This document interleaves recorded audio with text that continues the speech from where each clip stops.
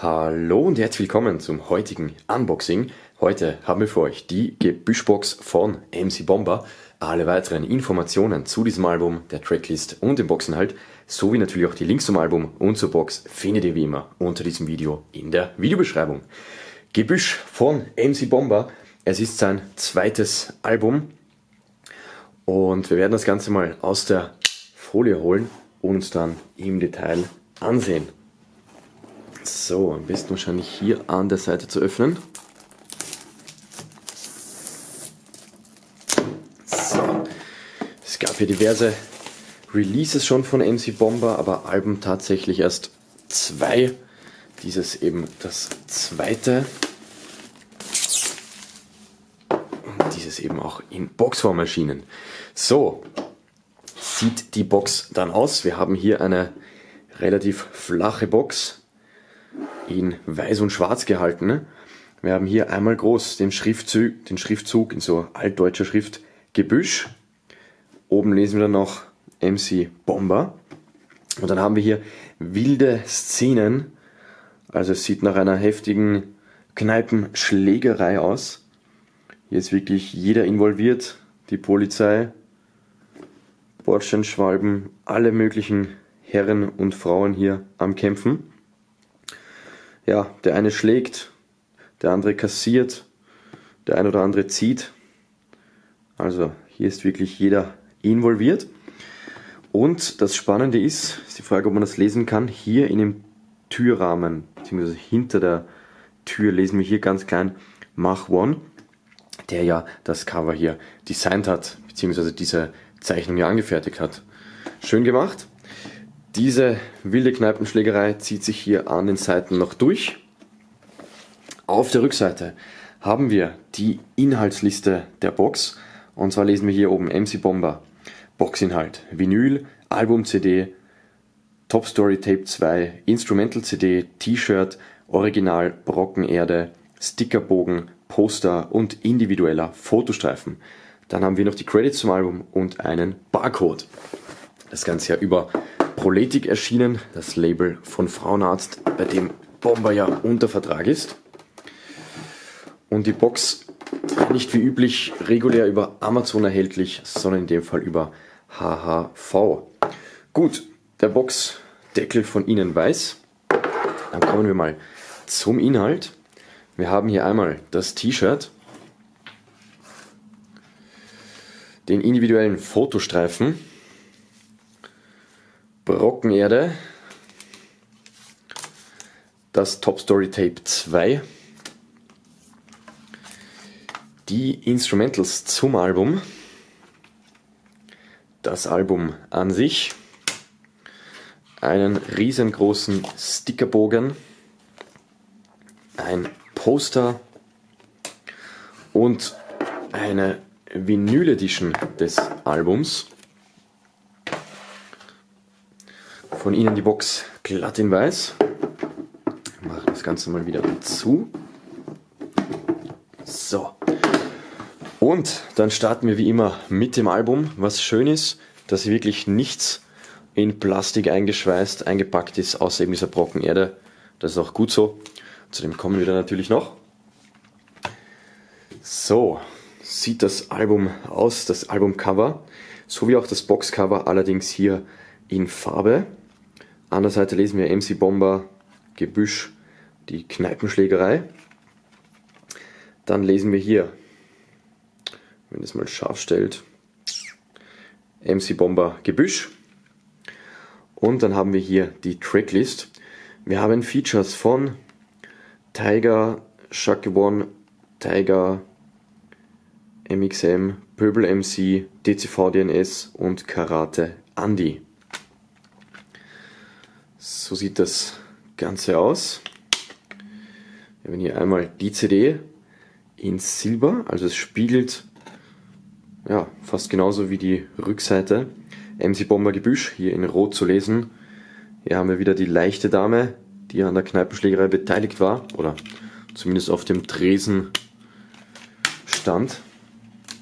Dann kommen wir zum Booklet. Wir haben hier einmal Okay, das dürfte nochmal der Stickerbogen hier sein, abgebildet. Dann eine Abbildung von MC Bomber. Und hier wieder diverse Fotos plus Szenen der Kneipenschlägerei. Diverse Fotostreifen und Privataufnahmen. Okay, also unübliches Booklet. Normalerweise hat man dann hier irgendwie die Tracks einzeln aufgeschlüsselt mit den Infos, wer war beteiligt, wer hat den Beat produziert etc.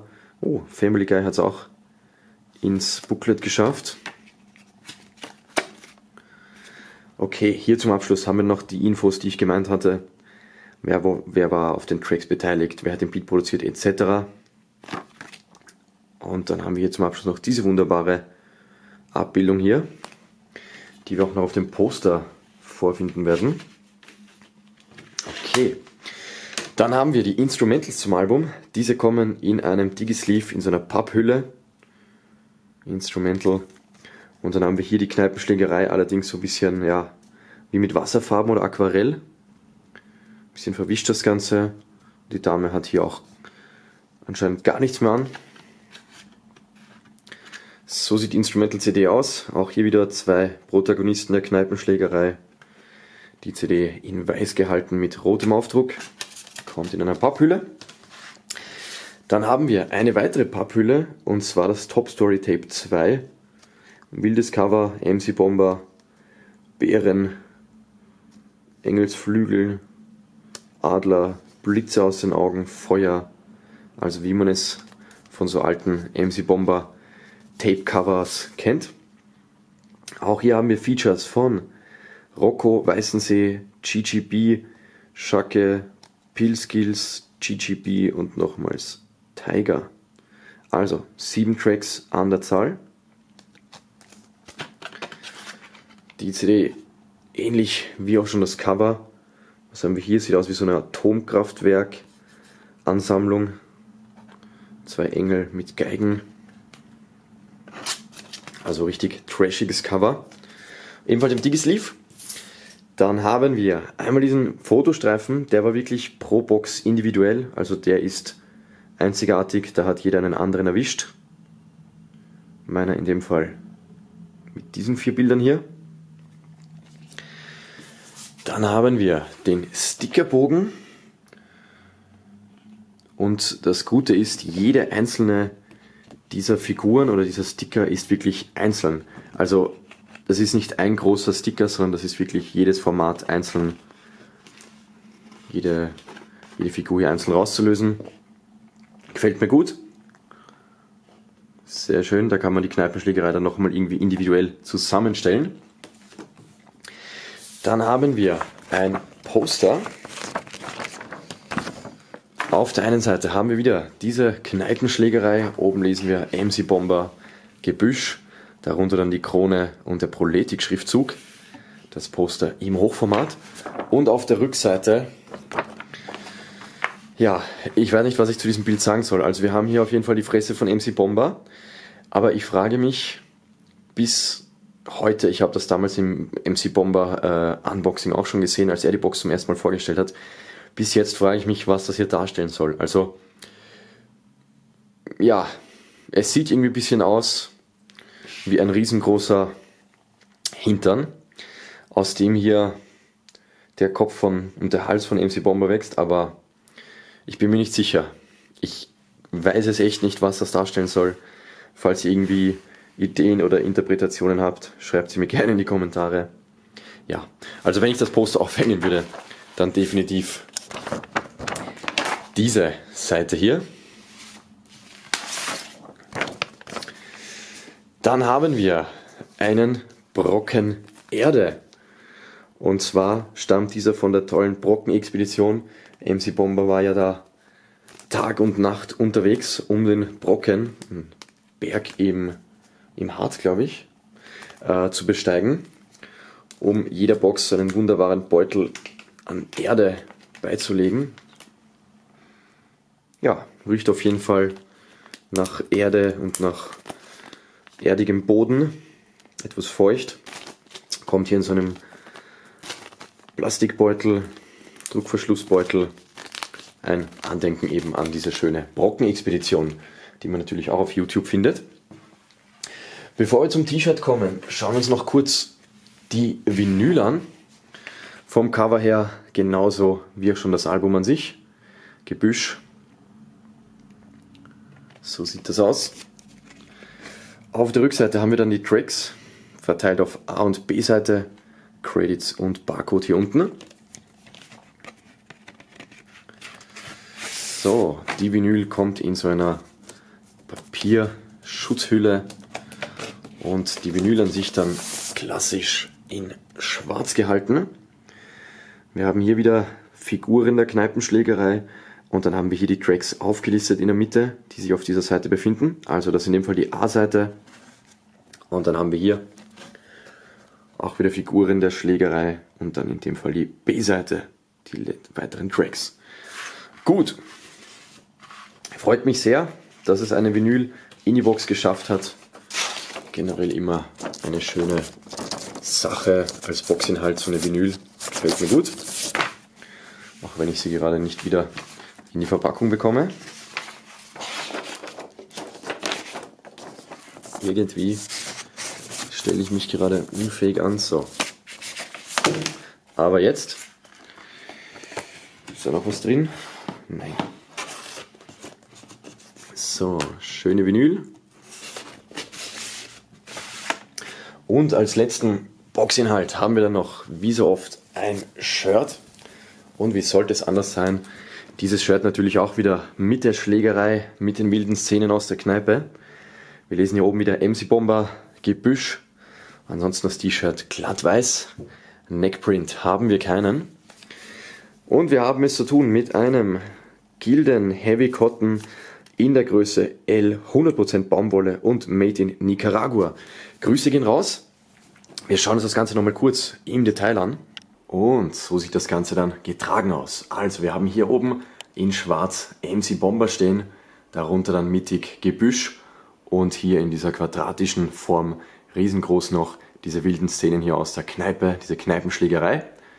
In weiß und schwarz, relativ schlicht gehalten, aber ich muss ehrlich sagen, gefällt mir richtig gut das Shirt, weil es einfach das, das Motiv, also diese Schlägerei an sich, hat auf jeden Fall was, da gibt es eine Menge zu sehen und auch in meinen Augen ein gelungener Kontrast diese, diese ja, Comic-Szenen auf der einen Seite, also diese Schlägerei, und dann hier diese altdeutsche Schrift Gebüsch und MC Bomber, hat auf jeden Fall was und kann man in meinen Augen gut tragen.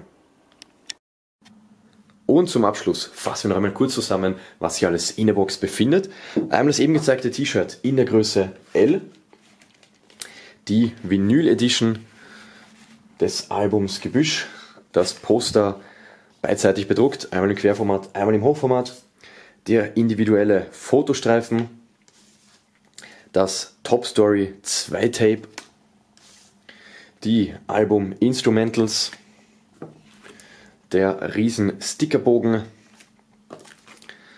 der barocken Erde in diesem Druckverschlussbeutel. Und natürlich das Album an sich.